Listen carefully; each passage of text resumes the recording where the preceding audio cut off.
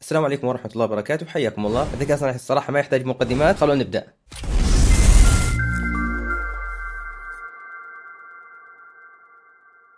حياكم الله من جديد. كيف نصمم صور وأشكال وتحف فنية بالذكاء الصناعي؟ كيف نكتب ال prompt الخاص برسم الصور باحترافية زي اللي تشوفها الآن قدامكم. حصان يتشكل بحروف عربية بارزة. فن من فنون ال typography. الفن الرهيب صار الآن تقدر تسويه بضغط الزر بالذكاء الصناعي. سابقا كان الرسم ال typography يأخذ منك وقت طويل. من رسم sketchات وتعديلها وتضبيطها تاخذها لبرامج الجرافيك مثل إلستريتر. تبدأ تحولها ل vector بعدها تلونها بعدها تحولها ل 3D. حاب أقول لك إنه كل العملية المعقدة الآن الآن تقدر تسويها بضغطة زر واحدة بالذكاء الاصطناعي ترسم أي تحفة فنية وترسم أي شكل من أشكال ال typography بضغطة زر واحدة. خلونا نشوف كيف الطريقة المجانية. خلونا نبدأ. عشان ننشئ هذه الصور اللي شفناها مع بعض في بداية الفيديو واللي عرضت لكم أكثر من منصة لازم تستخدم موقع بينج موقع بينج المميز به إنه إنك تقدر تكتب باللغة العربية وباللغة الإنجليزية. أنا الان أكتب باللغة العربية نفس الوصف وأكتب باللغة الإنجليزية. إيش هو ال prompt؟ ال prompt بسيط. أقول له خيل حصان حصان عربي يتشكل بحروف عربية بارزة. بلمعة بحروف عربية بارزة ثلاثية الأبعاد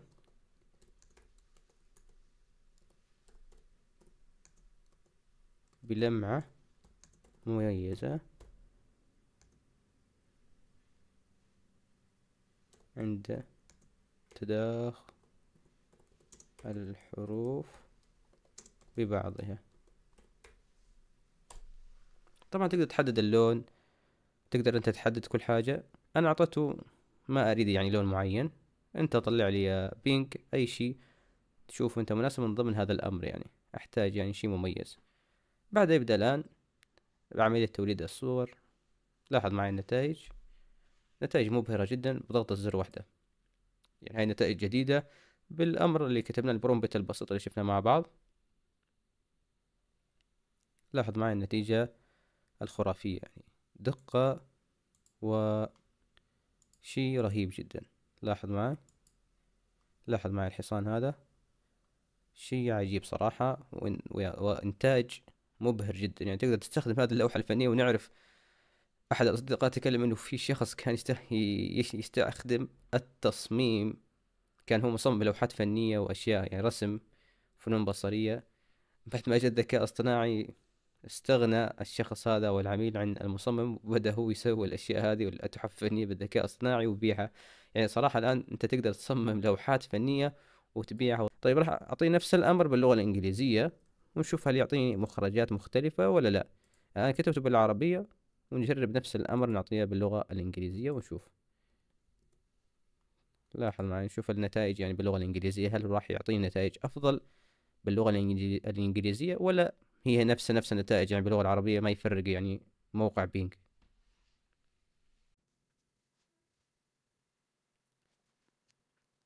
يا سلام. نتائج جميلة جدا صراحة. ما فرقت يعني النتائج نفسها ما فرق بين عربي و... يعني تكتب له الأمر بالعربي أو بالانجليزي البرومبت يعني ما فرق معنا بس لكن أعطاني يشوف الجودة والكمال في الصورة خرافي خرافي لاحظ التحف يعني هي تستخدم كتحف فنية تعليقها في البيت شيء جميل.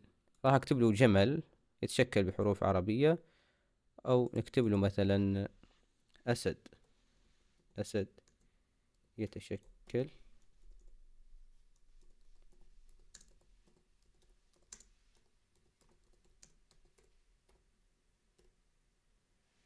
بارزة ثلاثية الأبعاد بلمعة مميزة عند تدا الأحرف ببعضها نقدر نقول خلفية خلفية سوداء. بن يكون بعضها بلون فضي. أو بلون ذهبي. لون الأسد يكون لونه للذهبي بخلفية سوداء.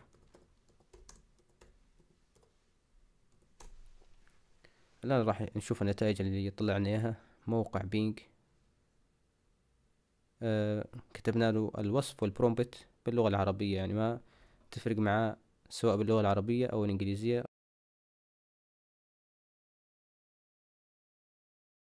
لاحظ معي آه الدقة في التصوير والاحترافية والشي يعني جميل جدا. لون ذهبي لاحظ معي بأحرف عربية متداخلة مع بعض. أعطاني خلفية سوداء مثل ما أنا طلبت منه. يعني صراحة تصلح تكون هذه تحف فنية. يعني شيء رائع. الآن راح أطلب منه بعد هذا الصورة. شوف الجمال. طبعا جمال. ثلاثي الأبعاد ممتاز جدا. راح أطلب منه فارس عربي. فارس عربي بحصان. يتشك يتشكل يتشكلان.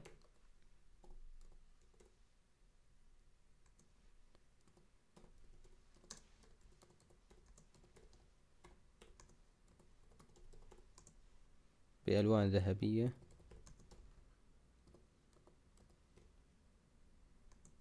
حارس عربي.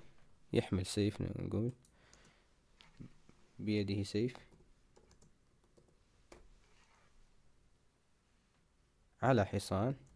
أحسن على حصان.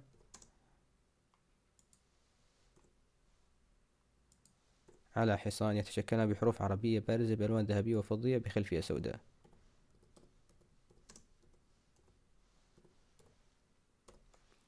شوف يعني بساطة بساطة. يعني أنت تكتب له الشيء اللي في بالك مباشرة راح يعطيك نتائج احترافية يعني. آه لاحظ معي التحفة الفنية للفارس العربي اللي طلبناه يتشكل بأحرف عربية باللون ذهبي فضي لاحظ معي الجمال فعلا يحمل سيف. صراحة شيء إبداعي إبداعي تحف فنية. لاحظ التحفة الفنية هذه.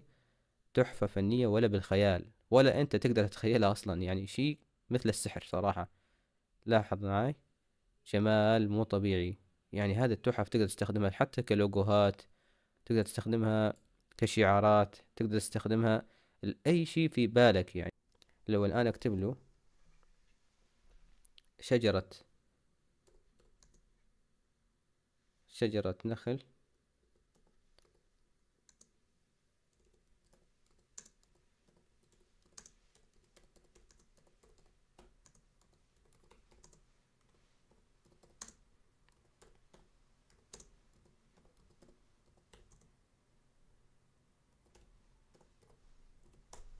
شجرة نخل تتشكل بحروف عربية بارزة بلون ذهبي ساطع بخلفية سوداء. آه لاحظ معي الجمال. شجرة نخل تتشكل بحروف عربية بارزة بلون ذهبي ساطع بخلفية سوداء. يعني النتائج صراحة جميلة.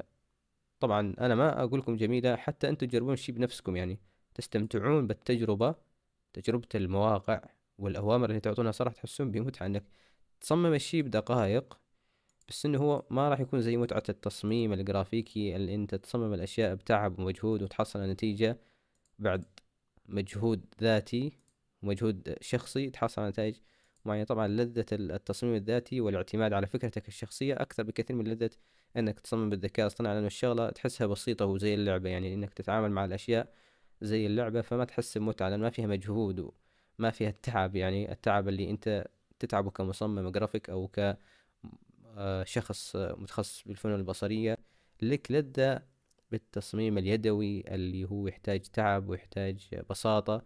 فالآن الذكاء الاصطناعي قضى على هذه المتعة قضى على هذه الأشياء. فنكتب الآن مثلا آه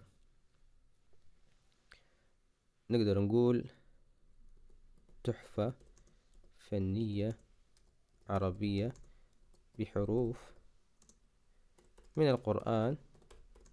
الكريم تحفة فنية للجدار عايزة للجدار مثلا.